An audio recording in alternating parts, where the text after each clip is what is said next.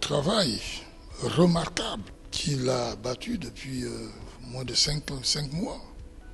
On peut remarquer que le Gabon est sorti de, de loin et qu'il a redonné de la confiance à l'immense majorité, n'est-ce pas, de la population gabonaise. La confiance en tant que Gabonais, fier d'être Gabonais, et à l'extérieur, encore davantage, fait quelques suggestions très respectueuses dans tous les domaines. Cela, évidemment, ne nous licence pas de dire que telle ou telle chose peut être faite de telle ou telle manière. C'est normal. Mais le RPR est derrière le président de la transition.